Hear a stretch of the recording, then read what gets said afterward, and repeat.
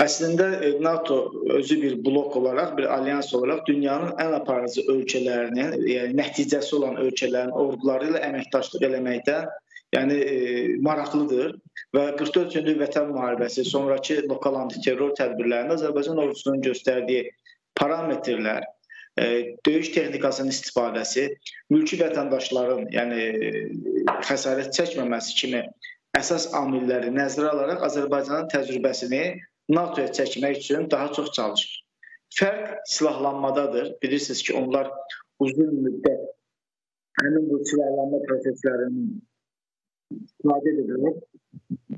Və bu proseslərə gəldikdə isə e, biz bildirməliyik ki, Azərbaycan 2020-2021 ildən sonra ikinci nəsil, e, üçüncü nəsil e, silahlanmanı müasirləşdirməyə doğru gedir və hətta mən deyirəm ki, Cənab Prezidentin çıxışlarından biri e, qlobal qlobal e, problemlərin həlli ilə bağlı Azərbaycan ordusunun formalaşmasını e, istisna etmir və komanda birliklərinin yaradılması buna nümunədir. Və biləsiniz ki, e, Ukraynada gedən müharibələr və e, İsrail-Fələstin arasında gedən müharibələrdə Azərbaycanın göstərdiyi e, parametrlər öz əksini tapmadı. Daha çox mülki vətəndaşların e, hədəfə alınması, mülki infrastrukturların hədəfə alınması, e, e, hədəflərin dəqiq vurulmaması və s. kimi proseslərdə Azərbaycan ordusunun göstərdiyi şücaət e, göz qabağındadır və cənab prezident bunun kifayət etməyəcəyi şəkildə davamlı inkişafını həyata keçirdi və mütləq şəkildə nəticə qoyaraq ortaya qeyd etdi ki, sizin uzun müddət sülh proseslərinin danışığı zamanı əldə etmədiyiniz Azərbaycan ordusu əldə etdi. Bundan əlavə olaraq qeyd etmək istəyirəm ki, e, biz bunu başqa bir tərəfdən də əlavələndirə bilərik. Hətta biz bunu bir bu mənim şəxsi fikrimdir. Yəni buna yəqin ki, mən özüm də daşıyıram bir qaçaqasdan söhbət gedir. Bilirsiniz ki, Türkiyənin Xarici İşlər Naziri Amerikada görüş keçirdi. Daha sonra Azərbaycanda üç e, dövlətin baş naziri görüş keçirdi. Və Azərbaycan e, həm hərbi cəhətdən, həm də e, digər sahələrdə mərkəzləşmə prosesini həyata keçirdi. Qafqazın e, regionun daha uyğun olmasını həyata keçirməsini təqdim edir. Ona görə də e, dərhal Jens Stoltenberg Bakıya səfər etdi və buradan Ermənistana və Gürcüstana getməsi də məhz buna xidmət edir ki, Azərbaycan özü artıq lokomotiv rolunu oynayır. Yəni e, Qafqazın həm təhlükəsizliyini təmin etmə gücü var, həm regionda qonşularla sabit əlaqə gücü var və NATO-nun özünün, yəni bizim bilmədiyimiz, özünün planlaşdırdığı hansı bir sahədə Azərbaycana ehtiyacı var.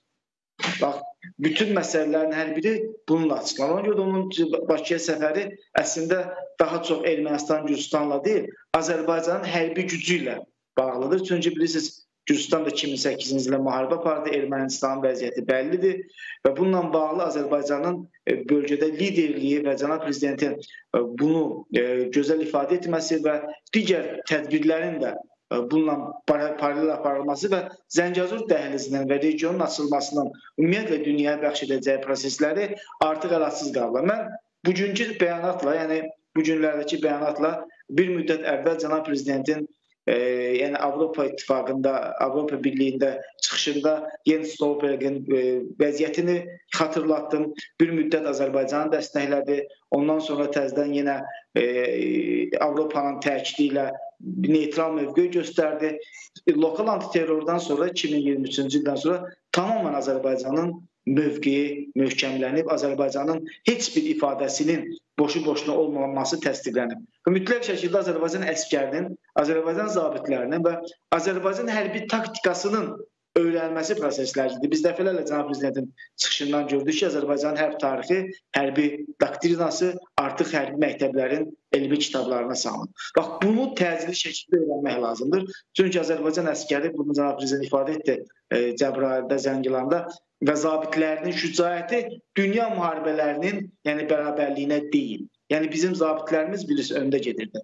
Bu ən böyük, ən mənəvi saflıqdır mənəvi dəyərlərdir ki, Azərbaycan ordusunda var və bunun öyrənilməsinə çalışılır. Biz bunu görsək də, görməsək də yaxınlaşmanın əsas istiqamətdə buna xidmət edir. Azərbaycan bunlara necə nail oldu? Bu elmi də bizdən götürməyə çalışır. Buyurun.